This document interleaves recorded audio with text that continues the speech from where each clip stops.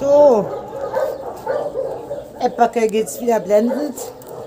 Und Eppacke hat jetzt Gesellschaft. Lulu.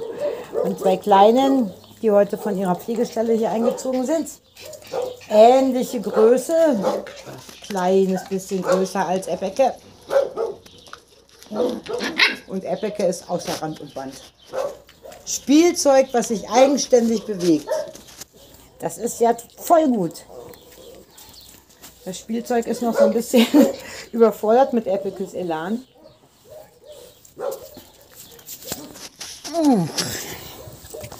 Epicke, Epicke, Erdbärchen, Erdbärchen. Ah.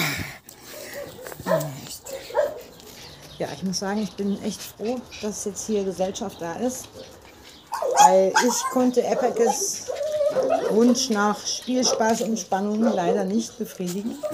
Nicht mal ansatzweise. Zum einen aus Zeitgründen, zum anderen aber auch, weil ich ja nicht zurückbeißen kann.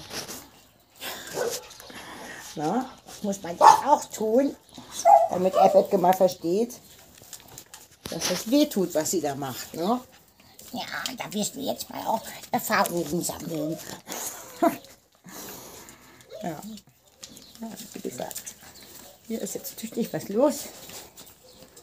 Und sobald wir mal Platz haben, können wir auch einfach mal einen größeren Zwinger ziehen. Das wird eigentlich auch mal an der Zeit. Das ist langsam an der Zeit. Ja, ich muss jetzt hier wieder raus, sonst kriege ich einen Drehbogen.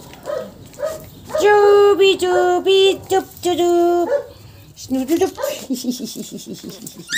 weiß noch gar nicht eure Namen. Das weiß ich doch gar nicht. Ein Junge und ein Mädchen. Und Apple.